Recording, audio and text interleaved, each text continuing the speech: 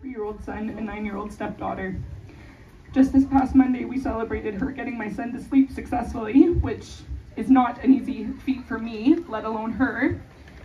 And we had a nice little celebration for that.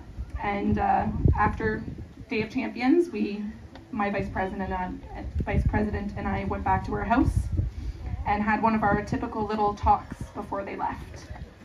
This little girl was one of the most beautiful girls inside and out. And there aren't many 13 year olds who uh, already have three different jobs on the go. So outside of babysitting for me, she was one of our favorite referees for soccer. And she had recently started dishwashing at the Portuguese club as well. Uh, she was one of the hardest working, fierce, loving people I've ever met. She loved her family endlessly.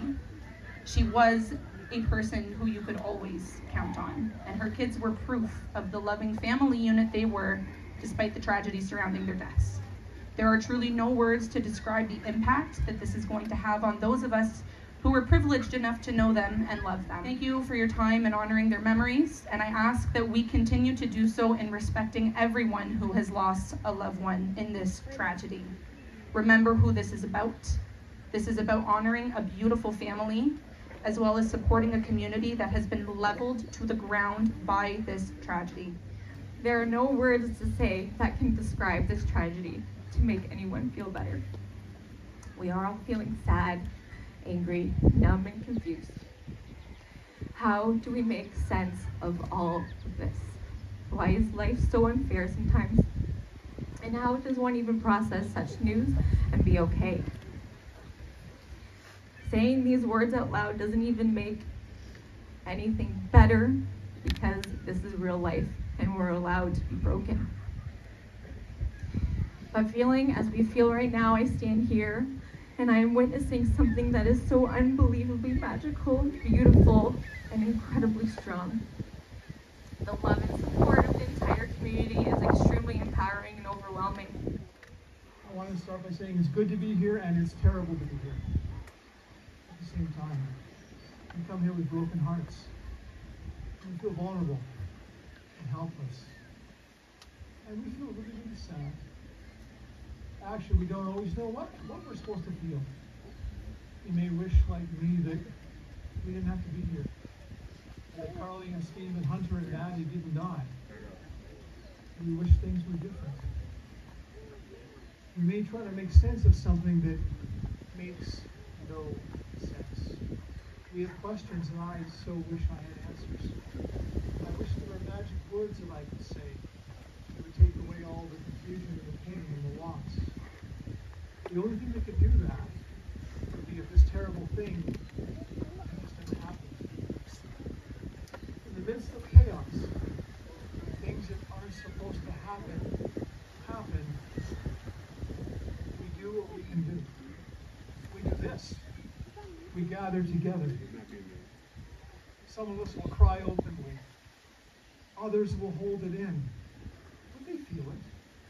When the worst things happen, worse than we can possibly imagine, when those things happen, we have to encourage each other to be our best selves.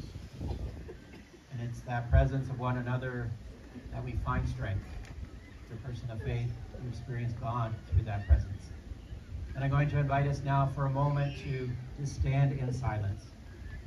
You need to hold a hand or embrace. The citizens of Harrow and the county and Kingsville and all of those that are here, thank you for being here.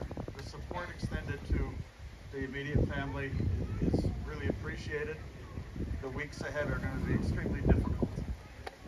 One additional thing I want to mention, and that is coming from a policing background, I want to acknowledge and thank what brother officers are going through as they process these scenes. It's a difficult job, and my heart goes out to them because every day when they're finished, it's a very difficult job for them.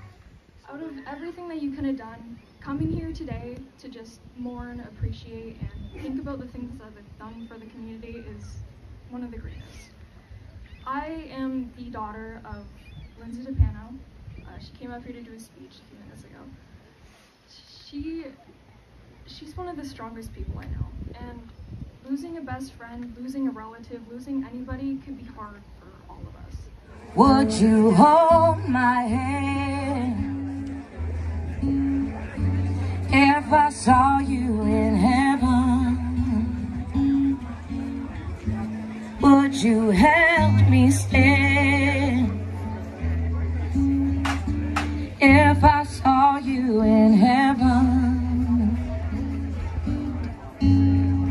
I'll find my way through night and day. Cause I know